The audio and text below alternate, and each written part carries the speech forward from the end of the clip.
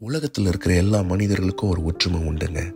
அவங்க எந்த நாட்டை சேர்ந்தவங்களா இருந்தாலும் சரி எந்த இனத்தை சேர்ந்தவங்களா இருந்தாலும் சரி எந்த மதத்தை சேர்ந்தவங்களா இருந்தாலும் சரி அவங்க எல்லாருக்கும் ஒரு ஒற்றுமை இருக்குது. அது அவங்க உடம்புல ஓடுற ரத்தம் இந்த ரத்தம் மனுஷனுக்கு உயிர் நாடியா இருக்குதுங்க.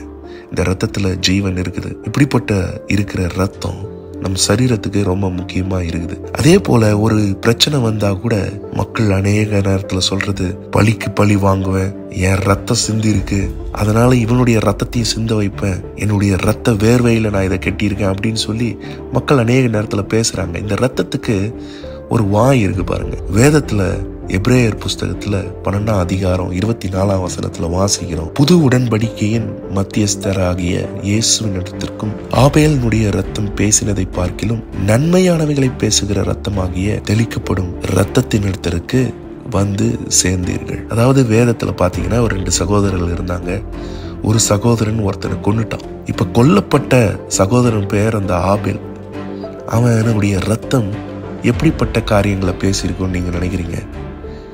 அவனுடைய ரத்தம் பழி வாங்குதலை பேசியிருக்கும் சாபத்தை பேசியிருக்கும் மரணத்தை பேசியிருக்கும் அழிவை பேசியிருக்கும்.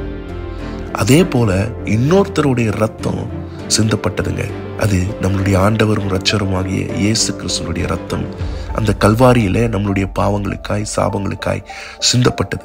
அந்த ரத்தம் எப்படி பேசியிருக்கும் தெரியுமா? அது வேதம் சொல்லுது நன்மையானவைகளை.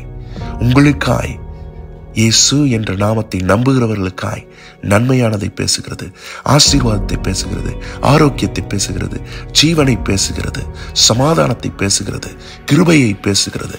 நீங்க நல்லா இருக்கணும்னு பேசுது உங்க குடும்பத்தில் இருக்கிற கடன் பிரச்சனை மாறணும்னு பேசுது நீங்க வாழ்க்கையில செழிக்கணும்னு பேசுது நீங்க உயர்த்தப்படணும்னு பேசுது அந்த ரத்தம் சகல விதமான நன்மைகளை பேசுகிறது அந்த ரத்தம் சகல விதமான ஆசீர்வாதங்களை உங்களிடையில கொண்டு வருகிறது அந்த ரத்தம் உங்களுக்கு செழிப்பை கட்டளையிடுகிறது.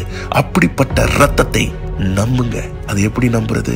இயேசு எனக்காய் மறித்து உயிரோடு எழும்பினார். அவரே என்னுடைய நேசராய் இருக்கிறார். அவரை மாத்திரம் நான் நம்ப போறேன். அந்த நாமத்தை மாத்திரம் நான் உயர்த்த போறேன்னு நீங்க நம்பும் பொழுது அந்த ரத்தத்தின் நன்மைகள் உங்களுடைய வாழ்க்கையிலும் உங்களுடைய குடும்பத்திலும் உங்களுடைய பிள்ளைகளிலும் வந்து சேருகிறது. ஏ